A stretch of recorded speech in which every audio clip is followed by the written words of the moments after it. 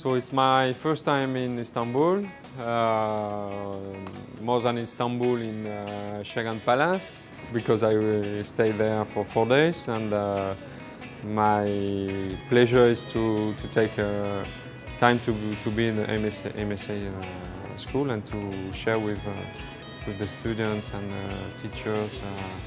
my knowledge and what I feel about the pastry, what my point of view and comments and um, my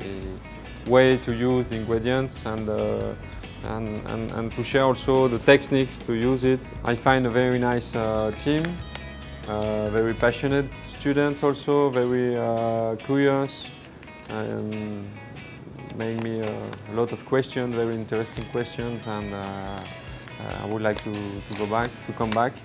and to, to spend more time because we were together something like three hours doing some dessert and uh, tasting things and uh, speaking about our, uh, our passion because at the end uh, I think to be successful in uh, this, uh, this craft area we have to be passionate, we have to work with a very nice fair play and we, we have to enjoy really what we are doing. This is the, the key to be uh, successful in, uh, in, this, uh, in this job. And uh, also I suggest to the students to be really curiously